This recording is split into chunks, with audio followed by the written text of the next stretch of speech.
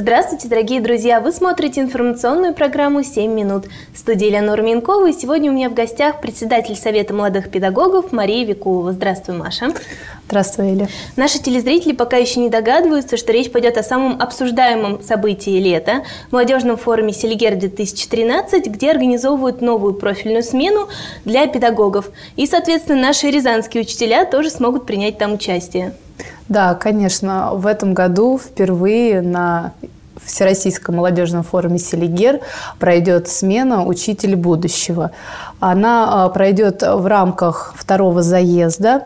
В этом году второй заезд – это особенный заезд. Если а, раньше у нас а, вся вот система «Селигер» строилась по направлениям, и различные направления были в трех заездах, то в этом году это немножко другая система будет. Второй заезд, он будет называться «Деловой форум». То есть эм, данные Заезд организован для людей, которые уже имеют определенный опыт, э, неоднократно бывали на Селигере, э, могут поделиться э, друг с другом различными какими-то своими наработками, опытом в той или иной сфере. Вот. И, конечно же, так как форум деловой, деловой заезд, будет представлена еще смена предпринимателей на это мероприятие, которые также будут делиться своим опытом и, возможно, будут э, предлагать реализацию проектов тех или иных смен, что, я думаю, для молодых педагогов тоже очень замечательно. То есть подбирается у вас такая хорошая компания там? Да, да. Будет очень интересная смена. Я думаю, хотя многие молодые рязанские педагоги, конечно, поедут на форум «Селигер» впервые. А, активисты Совета молодых педагогов уже э, дважды бывали на форуме Селигер, но в таком небольшом составе. Это в 2010 году на смене лидерства мы впервые представляли нашу организацию, и я считаю, достаточно э, положительно мы сняли социальную рекламу по, в общем-то, такой проблеме, как поднятие престижа педагогической профессии. Она вошла в пятерку лучших на Селигере в 2010 году. И буквально в прошлом году мы были тоже на Селигере, уже на смене технологии добра. А, опять занимались проектной деятельностью. Мы вошли, в общем-то, в список тех участников, кто стал победителем грантового конкурса, который организовывал э, всероссийские национальные э, перспективы. Вот, и уже реализовали этот проект на, э, в нашем регионе. Какую образовательную программу вам обещают сейчас? Уже есть э, основные направления, есть основная миссия нашей смены.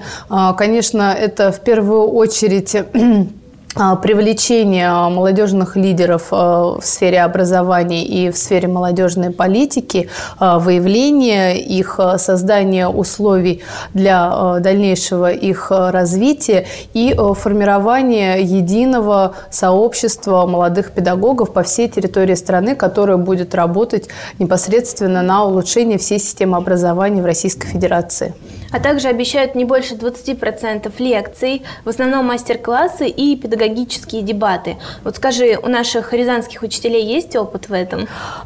Знаешь, я хочу сказать, что у наших рязанских учителей очень большой опыт. А, все те мероприятия, по крайней мере, которые э, организовывал Совет молодых педагогов Рязанской области, всегда э, проходили с дискуссионными площадками, э, с дебатами.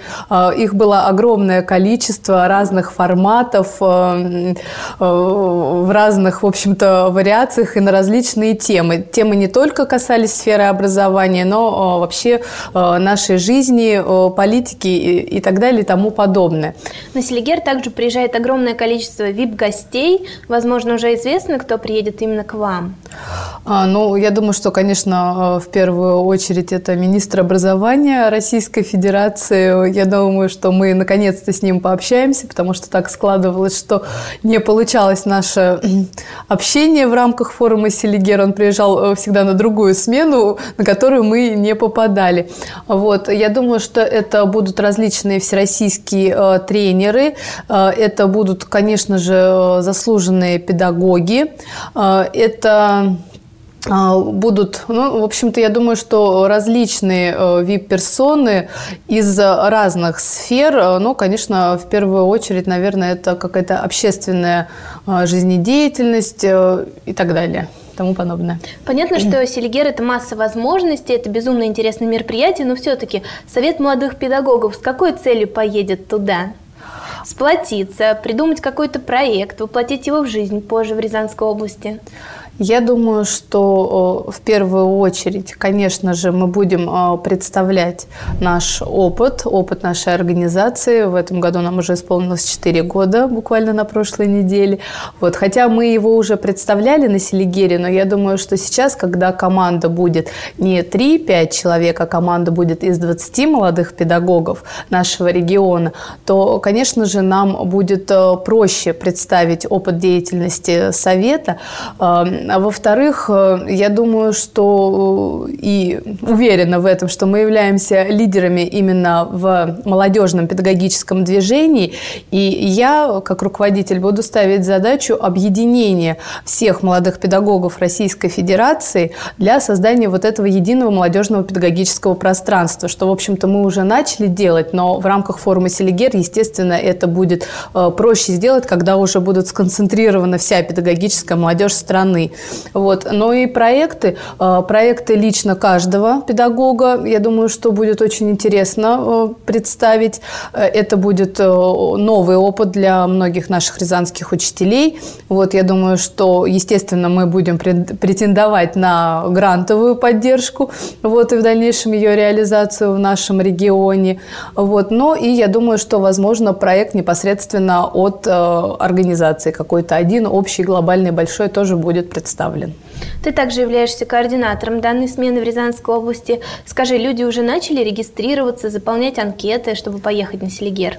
А, да, э, сейчас э, страница на сайте форума Селигер, вот непосредственно наша смена «Учитель будущего», она только вот э, включается в работу непосредственно.